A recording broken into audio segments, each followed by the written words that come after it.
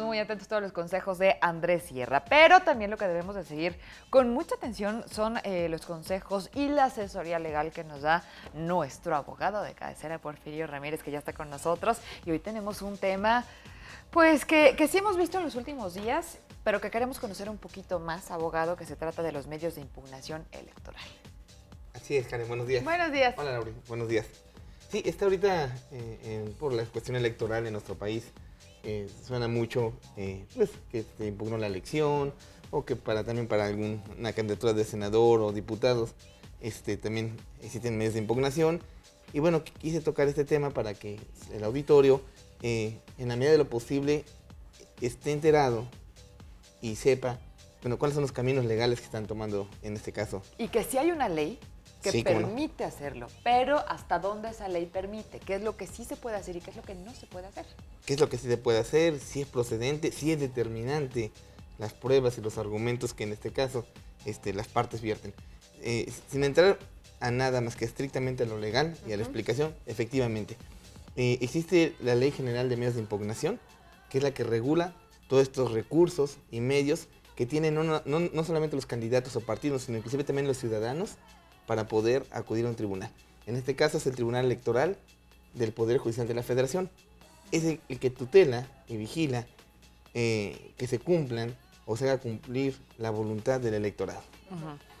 Existen en cada estado también salas, salas electorales o tribunales electorales pero estatales que también conocen de este tipo de este, derechos que pueden ser violentados. Pero la última instancia, la última instancia que conoce o que revisa de esta violación o de estos agravios que, que sienten las partes que les fueron causados es la sala superior, lo que acabo de decir del Tribunal Electoral del Poder Judicial de la Federación. Es nuestro órgano máximo en materia electoral. Es decir, es un tribunal de control constitucional. Lo- el- ok, para entrar en materia, eh, como ejemplificación de lo que está ahorita pasando en nuestro país, este, todos sabemos que un candidato eh, impugnó o está impugnando la elección, Sí. en este caso el candidato de la izquierda. O sea, ¿qué, es lo que pasa para que el auditorio esté enterado? El, el- día domingo, el día domingo anterior, se hizo el recuento de todos los cómputos distritales Ajá. y una vez que se, se dio formalmente quién tiene esa mayoría, este, que sabemos que es el candidato del Partido Revolución Institucional, eh, este, se tiene cuatro días para poder impugnar esa elección. Por eso él, cuando sale en los medios masivos, habla que hasta el jueves va a informar que es el medio que, que va a sí, ocupar. claro. Entonces, si, si hacemos cuentas, el domingo al jueves Ya son cuatro, Cuatro días. Y- O sea, el mañana. no, eso fue el la pasado. semana pasada. Ok, le- exactamente. tendría que. Ya pasó. eh, si estamos hablando del domingo, es un Fue el jueves, fue el mañana lo, lo. Exactamente, si ¿no? fuera así, pero ya pasó. Sí, ya. Y esos cuatro días son improrrogables y son cuatro días que la ley general de medios de impugnación contempla. ¿Qué fue lo que hizo? ¿Qué está atacando? Él lo que busca es este, invalidar la elección a través de nulificar toda la elección. O sea, para invalidar una elección tiene que haber una causal y él busca la nulidad de la elección porque, según los argumentos que expone, hubo eh, violación a los principios rectores eh, para las elecciones electorales. Es decir, nuestro artículo 41 constitucional habla de los principios rectores que toda elección electoral debe tener. O sea, to- todo proceso electoral debe tener. No se le habla que hubo falta de equidad y demás. Bueno, acá el punto medular, sin entrar al fondo, porque también no, no se conoce, es un medio de impugnación que él hizo valer, que se llama un juicio de inconformidad. Juicio de inconformidad. La ley de medios de impugnación tiene varios este, medios para que uno pueda impugnar. Él él le ocupó uno de esos varios que contempla la ley. Eh, son cuatro días que él tuvo. eh, ahorita el Tribunal Electoral está, conformado por siete magistrados federales. Es decir, son seis y el presidente. Ah, Esa era mi pregunta. ¿Quiénes son los que a los que se les presenta todo esto? ¿Quién lleva como este este caso? de- Exactamente. Sí, primero, antes que nada, no hay que confundir que una cosa es el IFE, Ajá. el Instituto Federal Electoral, que es el que regula las elecciones, el que ve la logística, el que ve lo- cómo van a ser las vueltas electorales, las casillas. los- es- y una cosa es el TRIFE. Ese es el que el lleva- que va, el que resuelve las cuestiones constitucionales cuando sienten las partes, y hablan de partes es partidos políticos, candidatos, ciudadanos, le fueron violados los derechos electorales. Entonces, efectivamente, el que conoce es este órgano colegiado que está integrado por siete magistrados, con el presidente. Son seis y el presidente. es bien importante que sepa este eh, auditorio que esas audiencias son públicas. Es decir, para retomar el procedimiento, ya se recibió ahorita en esos cuatro días la impugnación que realizó una de las partes. ¿Sí? Que es, lo que él promovió fue un juicio de inconformidad, buscando que se nulifique la elección, o sea, que a través de esa nulificación se declare inválida y se vuelva a convocar a nuevas elecciones. Muy difícil porque, bueno, finalmente hay voluntad del, del electorado, eh, los medios por los cuales debe de probar son muy subjetivos y eso es muy difícil. Claro. ¿Cómo, cómo puedes probar cuestiones pruebas, subjetivas? ¿verdad? Y si no son determinantes, pues yo creo que pues el tribunal en esa, en esa competencia y son gente muy calificada, son magistrados muy competentes, de, pues bueno, va a determinar lo procedente. Pero bueno, una vez que, que estos, eh, él presentó este, se presenta este medio de impugnación, eh, el tribunal, cuando son impugnaciones por, por cuestiones de presidente de la República, que es el caso que nos ocupa, pues tiene hasta los primeros días de septiembre para resolver. Entonces vamos a tener una respuesta del tribunal todos como ciudadanos, porque todos estamos atentos a qué pasa en la vida política del país, que es bien importante. Este, hasta los primeros días de septiembre el tribunal sesiona en pleno. Hay un canal que se llama Canal Judicial, es un canal de gobierno y este, eso se televisa, o sea, es algo que, que podemos tener acceso por internet o por sistemas de cable a lo que, a lo que, a lo que van a resolver. De estos siete magistrados con el presidente, a uno de estos, los seis, que el que no sea el presidente, les asignan el asunto y hacen un proyecto.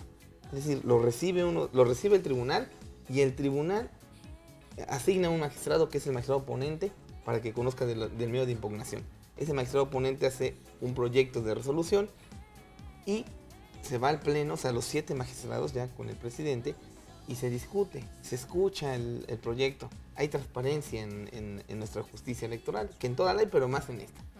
E- es- acaba de mencionar que esto se, se puede ver vía internet, vía canal judicial, y ahí este, mucha solemnidad, mucha formalidad público, hay un auditorio inclusive que, bueno, cabe cierto número de personas, van normalmente las partes, los abogados, este, los asesores este, políticos, jurídicos, y lo discuten en pleno, a la luz pública, por qué la resolución eh, sale en este sentido, pues puede ser confirmando, declarando la validez de la elección, que es lo que, lo que en teoría este, podía ocurrir.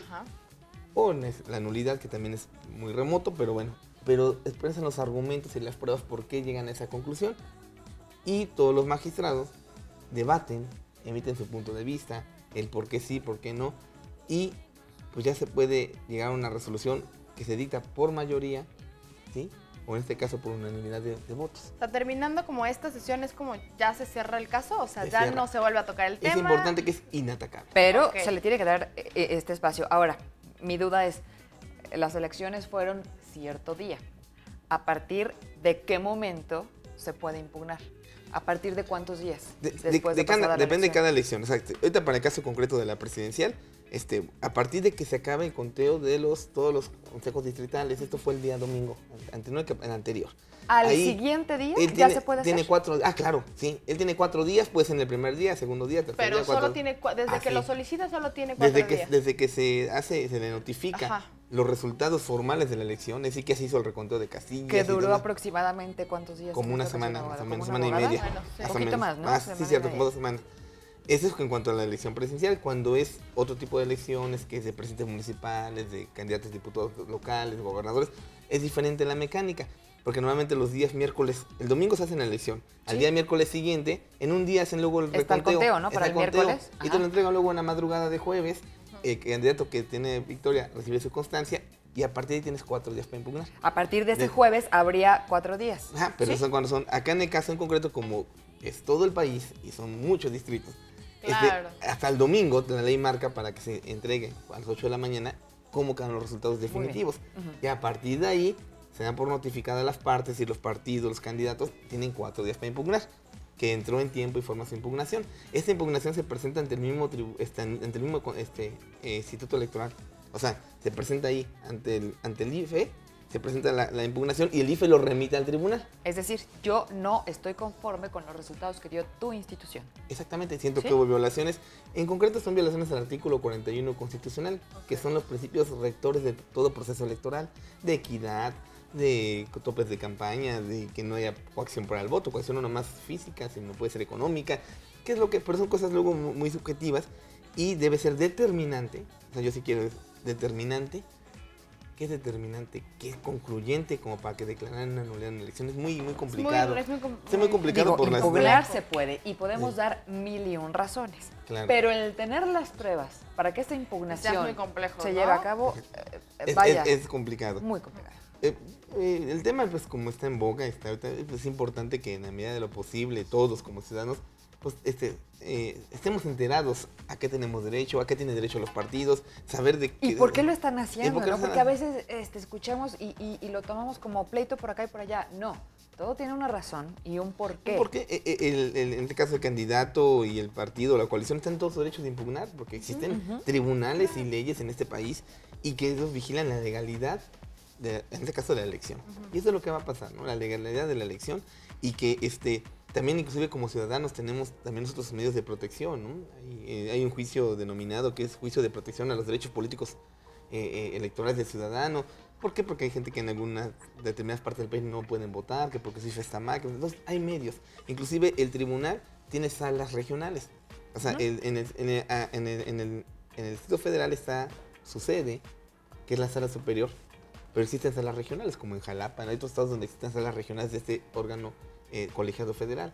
Pero bueno, acá, lo importante es que, que la ciudadanía sepa que existe una instancia, que es la máxima instancia rectora, de que va a vigilar que no se hayan cometido violaciones en el proceso electoral, que está integrada por siete magistrados federales con autonomía plena, ¿sí? hay una autonomía plena de poder determinar, que van a verificar los asuntos que lleguen con toda la imparcialidad, que esa audiencia es pública, que todos podemos estar enterados de qué va, qué va a pasar ahí, qué argumentos ellos también van a esgrimir para decir si es procedente o no es procedente lo que pidan las partes, Ujú.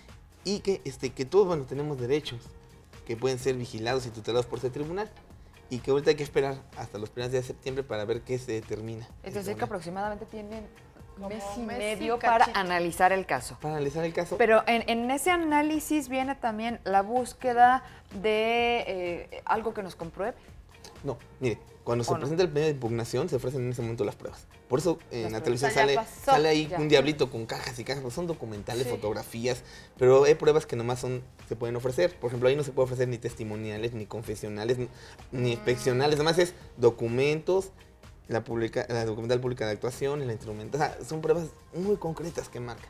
Porque además es un órgano que va a verificar que efectivamente se haya dado con legalidad la elección. Aparte es poco tiempo, o sea, Sí. Sí, realmente Digo, no. estamos hablando de, no pueden de hacer- unas semanas. ¿Por, por, por qué el tiempo también? Este, ustedes lo saben, en el primer día de diciembre tiene que haber esa transición de Exacto. cambio Sí, de gobierno. supuesto. Entonces tiene que ser material y jurídicamente posible. Y lo es. Por eso tiene que ser a principios de septiembre para que sea ese proyecto, ese proceso de entrega-recepción y todo. O sea, todo tiene su porqué. Pues hay que ejercer los derechos eh, como ciudadanos y también la otra parte, ¿no? Que estamos hablando en este momento, lo- los partidos, en este caso, el- el- la, la persona que aspiraba a ser eh, Sí. presidente de la República es, es válido, es, es un Es- derecho y, bueno, pues hay que ejercerlo y ojalá que todo, en este caso, tenga solución y ya, ya conocemos ahora los ya detalles. sabemos más Ya exactamente sabemos el acerca de este tema. Sí, es, correcto y saber que existe un tribunal especializado de control constitucional que va a vigilar que esos derechos no, no hayan sido violados ni- y que la legitimidad de la elección se haya cumplido.